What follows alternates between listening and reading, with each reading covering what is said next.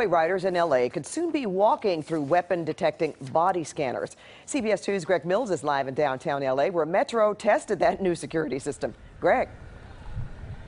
And Pat, they tested it today, they'll test it tomorrow and again next week, but Metro doesn't know if they're going to make it permanent in the future. This high-tech scanner was being tested today at the Red Line entrance at Union Station. It's along the lines of what we pass through at the TSA checkpoints at the airport.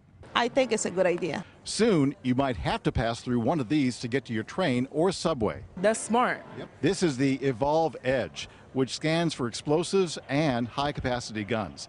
Metro will test out another company's scanner next week as Metro considers ways to improve security system-wide.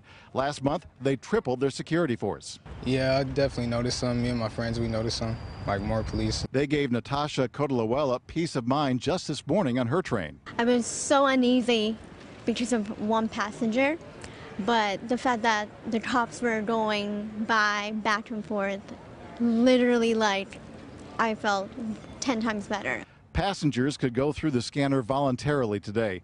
If Metro puts these in place in the future, screening will be mandatory. Passengers told us it's fine with them. I believe so, for our safety, mm-hmm. for everybody's safety. If nothing suspicious is found, there's a green light. But when an employee goes through with metal in his backpack, a red light. And the agent can see pictures showing where the suspicious item is. An employee wearing a vest with simulated plastic explosives gets the red light as well. And agents can see right where they need to check. And Metro wants to see how it performs during rush hour. They believe they can get 600 passengers through in an hour, but during rush hour in the morning and at night, they say they have a lot more than 600 passengers. Pat, Rick, back to you.